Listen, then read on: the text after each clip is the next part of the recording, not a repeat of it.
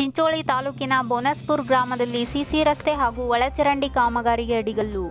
ಇಂದು ಚಿಂಚೋಳಿ ತಾಲೂಕಿನ ಬೋನಸ್ಪುರ್ ಗ್ರಾಮದಲ್ಲಿ ಸಿಸಿ ರಸ್ತೆ ಹಾಗೂ ಒಳಚರಂಡಿ ಕಾಮಗಾರಿಗೆ ಅಡಿಗಲ್ಲು ಸಮಾರಂಭ ನಡೆಯಿತು. ಅಡಿಗಲ್ಲು ಸಮಾರಂಭವನ್ನು ಡಾಕ್ಟರ್ ಅವಿನಾಶ್ ಜಾಧವ್ ಅವರು ಉದ್ಘಾಟಿಸಿ ಮಾತನಾಡಿದರು. ಬೋನಸ್ಪುರದ ಒಳಚರಂಡಿ ಹಾಗೂ ಸಿಸಿ ರಸ್ತೆ ಮಾಡಿ ಗ್ರಾಮವನ್ನು ಮಾದರಿ ಗ್ರಾಮವನ್ನಾಗಿ ಮಾಡಬೇಕಾಗಿದೆ. ಕೊಳಚೆ ಮುಕ್ತ ಗ್ರಾಮವನ್ನು ನಿರೂಪಿಸಬೇಕಾಗಿದೆ ಎಂದು ಹೇಳಿದರು. ಈ ಸಭೆಯಲ್ಲಿ ಬಿಜೆಪಿ ಮುಖಂಡರು, ಕಾರ್ಯಕರ್ತರು ಹಾಗೂ ಊರಿನ ಮುಖಂಡರು, ಗ್ರಾಮಸ್ಥರು ಉಪಸ್ಥಿತರಿದ್ದರು. ವರದಿ, ಸಂತೋಷ್ ಶೆಟ್ಟಿ ಈ ಸೆವೆನ್ ನ್ಯೂಸ್, ಚಿಂಚೋಳಿ.